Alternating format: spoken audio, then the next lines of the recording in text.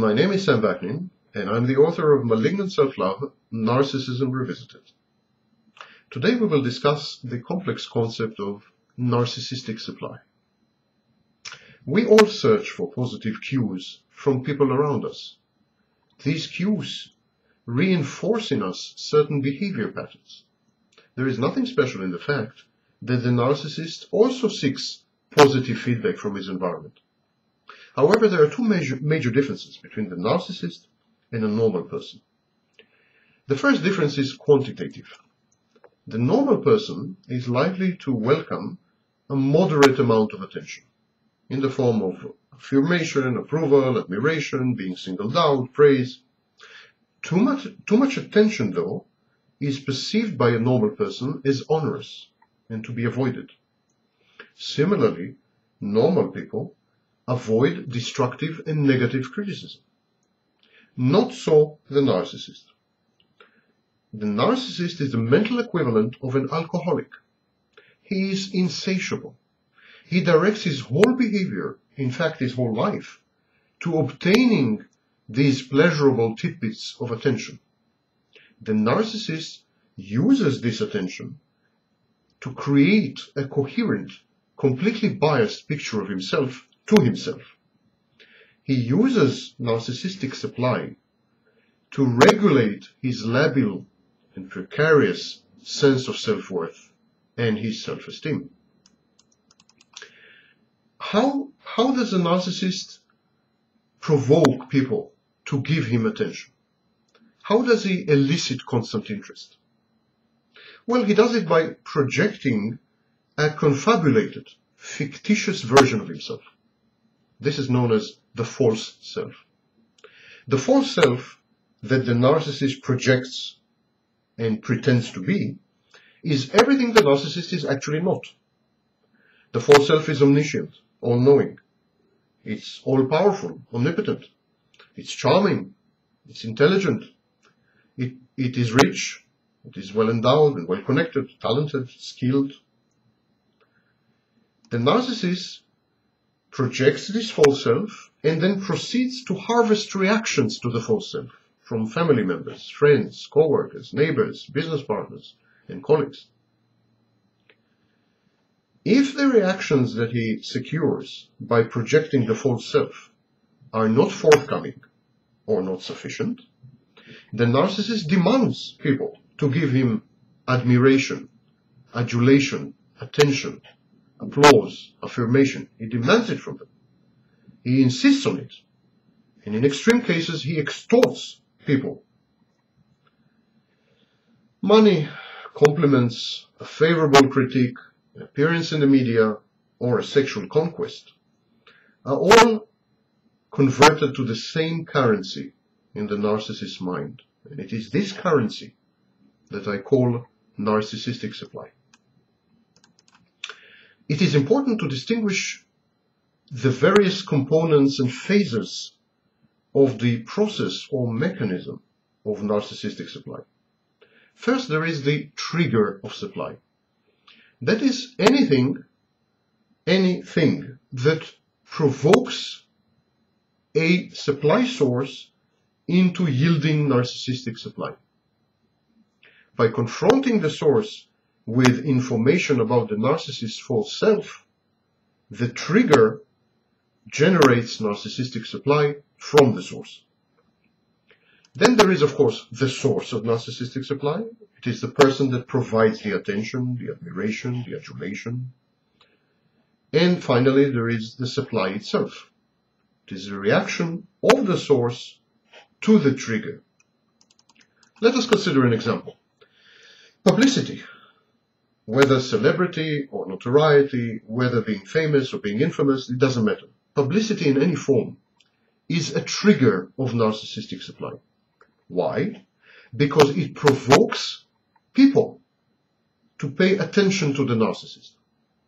In other words, publicity moves sources to provide the narcissist with narcissistic supply. It causes them to yield narcissistic supply to the narcissist.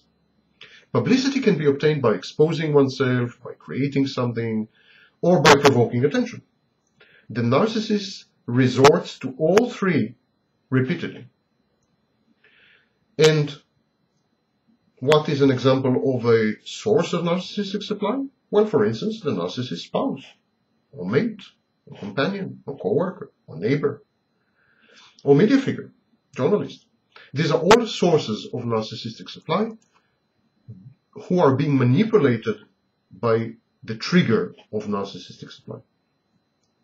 But the picture is even more complicated than this because there are two types of narcissistic supply. There is primary narcissistic supply, which is essentially attention. Attention can be public, for instance, fame, notoriety, infamy, celebrity.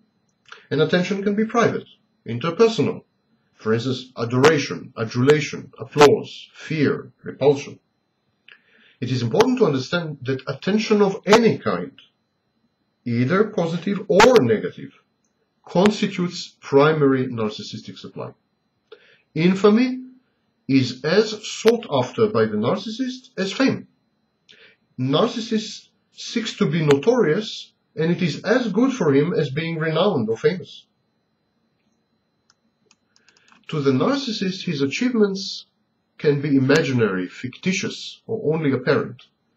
As long as other, others believe in these accomplishments, he doesn't mind. Appearances count more than substance to the narcissist. What matters is not the truth, but the perception of the truth. The narcissist is false. His self is false. His life is fake. He is interested in reactions, not in facts. Triggers of primary narcissistic supply include, apart from being famous, having an air of mystique, when the narcissist is considered to be mysterious, having sex, sex and deriving from it a sense of masculinity or virility, or being close or connected to political, financial, military, or spiritual power or authority, or yielding this power. All these are triggers of supply, because when you have them, you obtain supply from the environment. Sources of primary narcissistic supply are all those who provide the narcissist with narcissistic supply on a casual, random basis. As opposed to primary narcissistic supply, we have secondary narcissistic supply. secondary supply includes leading a normal life, which is a source of great pride for the narcissist. Having a secure existence, for instance, economic safety, social acceptability, upward mobility, and obtaining companionship. All these are sources of secondary supply. Thus, for instance, having a mate, possessing conspicuous, ostentatious wealth, being creative, running a business, uh, possessing uh, a sense of uh, freedom, being a member of a group or a collective, having a professional or other reputation, being successful, owning property, flaunting one's status symbols, they are all uh, secondary, they all constitute secondary narcissistic supply. And who are the sources of secondary supply? They are those people who provide the narcissist with narcissistic supply on a regular daily basis. Spouse, friends, colleagues, business partners, teachers, neighbors, and so on. Both uh, primary and secondary narcissistic supply and their triggers and their sources are incorporated into something that I call the pathological narcissistic space, where the narcissist feels good. It is the, the area of well-being where he is sure of getting narcissistic supply. There are hundreds of forms of narcissistic supply, both primary and secondary, and consequently there are hundreds of, of types of suppliers with specific functions. This is called emergent roles. The narcissist trains and conditions his nearest and dearest to act these parts. He allocates scripts and narratives to his spouse, children, subordinates, and dependents in accordance with their strong and weak points. It is the personality of the source of supply that determines which type of supply he or she are to provide. Thus, a shy, insecure, and reticent child may be prevailed upon by the narcissist to admire and serve the narcissist. Smart, outgoing, independent offspring may be cajoled by the narcissist to accomplish impressive feats, thus enhancing the narcissist's standing in the community, and so Narcissistic supply is the fuel that runs the narcissist's machine. It's the drug to which he is addicted.